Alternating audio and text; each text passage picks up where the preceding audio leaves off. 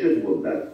Si acabo de salir de la clase y sé que va a entrar luego otro compañero, dejo la mesa limpia, recogida, bien puesta, bondad, ayudar a los demás en todo y cada una de las cosas que puedo hacer en mi vida diaria, hacia mis compañeros, hacia mi propia familia, hacia mis profesores. Si yo sé que el profesor necesita tiza, voy antes que entre el profesor y le cojo tiza. Eso se llama bondad.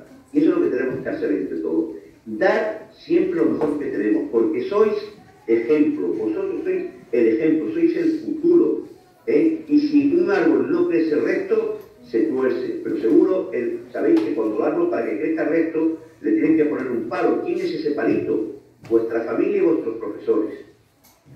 Hay que escucharle, hacerle caso.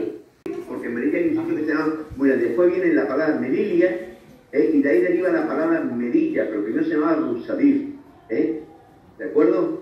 Pero la palabra Melilla, y Melilla tiene una característica muy importante, muy importante, no como Ceuta, se diferencia muchas cosas de Ceuta, pero somos ciudades donde tenemos cosas muy parecidas. Yo construí en Ceuta, era como si estuviera en Melilla. ¿eh? No hay tantas cuestas en, en, Melilla como en Ceuta, pero nos parecemos en forma de pensar, en carácter, en idea, en unión. Yo iba por, por Ceuta con mi equipa puesta, a mí nadie me dijo absolutamente nada, cosa que no ocurre en la península, que sí que eso, son dos ciudades donde el respeto está presente en el día a día, el respeto está en todo, donde entres, donde vayas. ¿eh? Para mí, eh, fue como si estuviera en Melilla. Quiere decir que somos dos ciudades que lo que podemos hacer es aportar mucho a la humanidad demostrando que sabemos respetarlo.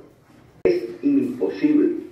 Por eso eh, tenemos el gran privilegio, aparte de una ciudad chiquitita, que todos sitios llegamos andando, donde todos nos conocemos, poder, poder conocer y reconocer que estamos en ciudades multiculturales.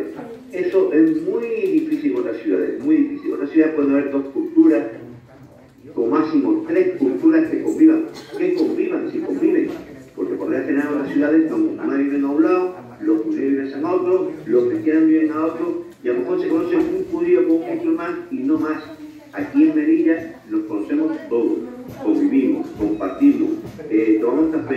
Lo mismo que exactamente que ocurre en Sevilla. Muchas gracias. Muchas gracias. Nada, Mohamed, gracias.